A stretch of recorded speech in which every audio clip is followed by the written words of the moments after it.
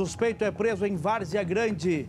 Suspeito de tráfico de drogas. A reportagem é dele, Serginho Lapada, na tela do Comunidade, agora.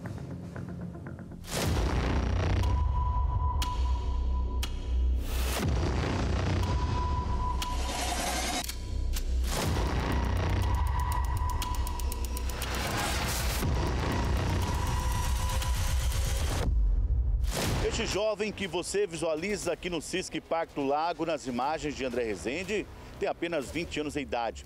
Não tem passagens policiais, mas, segundo informações da polícia, já está envolvido com tráfico de entorpecente. A equipe do GAP e também da Força Tática de Varza Grande receberam a informação importante da equipe do Gefron, lá em Pontes e Lacerda, de que o veículo teria saído da cidade com destino a Varza Grande.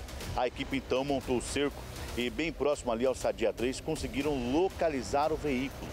Quando entrevistaram o jovem, ele disse que sim, tinha trazido o entorpecente que estava em uma localidade chácara. A equipe policial foi então até o local, eles localizaram toda esta droga. Quase 30 quilos de maconha e maconha skunk, 24 tabletes de entorpecente. O jovem então disse que o destino final seria a Várzea Grande, já estava voltando já para Pontes Lacerda em um veículo. A equipe realizou a abordagem, caminhou ele aqui para o Cisque Parque do Lago, onde estão registrando boletim de ocorrência. O Thiago, você veio de Pontes Lacerda, né? Tem quantos anos? 20 anos? A situação dessa droga aí, você sabia que ela estava vindo junto ou não? Sabia? Quer falar nem para se defender? Não está mostrando seu rosto, não. Não vai falar nem para se defender? Sou com advogado só. Hã? Só com advogado. Já está orientado?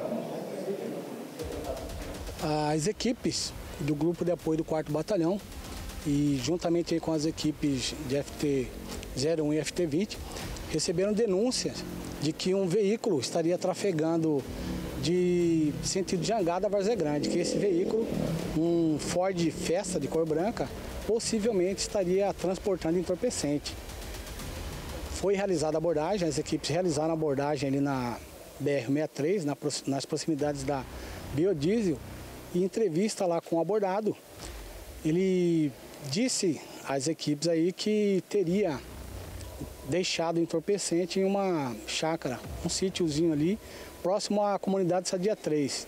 As equipes diligenciaram até o local e após realizar buscas foi encontrado todo esse entorpecente aí. Havia um outro indivíduo com ele, porém ele assumiu a autoria de que seria o proprietário aí da droga. É, após a entrevista aí ficou bem claro que ele estaria trazendo essa droga aí da cidade de Pontes Lacerda e passado ali pela região de Barra do Bugres, posteriormente passou Jangada e já estava, o destino final dele seria a cidade de Varza Grande. Após o registro, o jovem foi encaminhado para as autoridades de plantão aqui do Cisque Parque do Lago e vai ficar à disposição da justiça. Com a imprensa, ele falou muito pouca coisa, quase não quis falar. Apenas que tem 20 anos de idade, não tem passagens policiais e que era a primeira vez. Mas, segundo a polícia, tem outros envolvimentos também. Com imagens, André Rezende, apoio técnico Valdemir Guimarães, Sérgio Lapada, para o SBT Comunidade.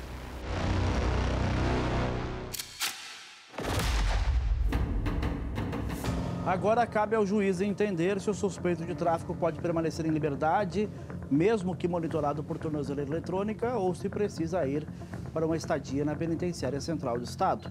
Enche a tela com imagens, enche a tela com imagens, porque é uma quantidade significativa de uma maconha diferenciada, né, Serginho?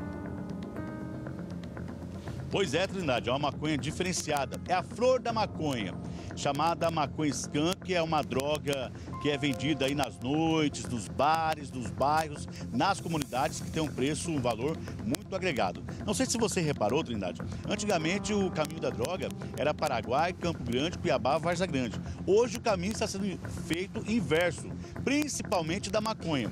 Lá em Pontes Lacerda, fronteira ali é, com a Bolívia, então a maconha veio desta cidade. Cada vez mais os traficantes estão utilizando pessoas que não têm passagens policiais, jovenzinhos, para o tráfico de drogas, porque sabe que se cair ali, ele vai ser solto no outro dia. É menos uma preocupação para o tráfico de entorpecentes, Trindade. E muitos jovens se envolvendo.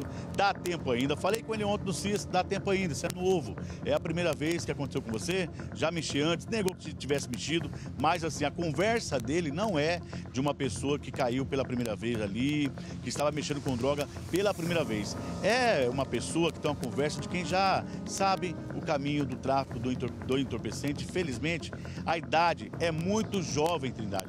Eles estão usando aí o caminho inverso da fronteira da Bolívia, Pons Lacerda, para Varza Grande, para trazer a droga, a maconha skunk, conhecida como super maconha. Mas a polícia, a equipe do GAP, Força Tática, Gefron, PRF, monitoram ruas, avenidas, estradas é, da nossa cidade. Serginho, são estratégias cada vez mais ousadas, sempre mudando para tentar despistar o trabalho da polícia, mas a casinha caiu para esse aí. Ele, você chegou a conversar com ele ali, ele fica em silêncio, estava orientado, mas eu tenho certeza que ele não estava transportando essa droga sozinho, né? Alguém entregou a droga para ele, ele iria entregar para alguém e alguém teria ajudado ele também nesse transporte. E com certeza a casa não cai só para ele, a casa vai cair para todo mundo, porque essa prisão dá início a uma investigação da Delegacia de Repressão Entorpecente de Cuiabá. A imagem é importante, é uma quantidade significativa de drogas e tinha toda uma estratégia envolvida, né? Ele foi flagrado, mas a droga estava num tonel, né, Serginho? Pois é, a droga estava em um tonel é, com farinha, né? Com farinha para, para animais. E ele já tinha deixado a droga nesse sítio, Trindade. Já tinha deixado a droga nesse sítio, né? Ali é um farelo de milho que ele estava levando. E outro detalhe, amigo Trindade, você vê que lá de Pouso Lacerda para Varza Grande, Cuiabá, geralmente é trazido pasta base de cocaína. Agora maconha, né? A super maconha, a maconha skunk. Os policiais ali ainda estão investigando essa situação por conta que naquela região de chácara nunca foi apreendido entorpecente. É a estratégia nova, a rota nova, tudo isso para tentar despistar o trabalho da Polícia Militar. Não deu certo, a casa caiu. Parabéns às equipes da Polícia Militar. A imagem é impressionante.